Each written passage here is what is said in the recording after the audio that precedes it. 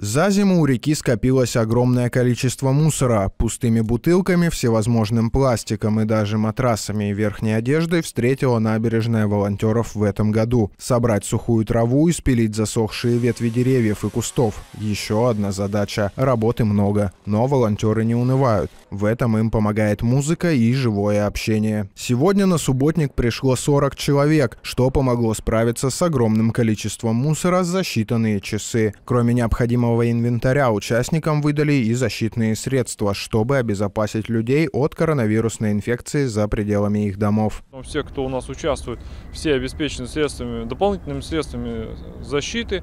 Это маски, антибактериальные гели выданы. Кроме того, мы выдали перчатки, люди, людям выдали репелленты, чтобы обработаться от насекомых.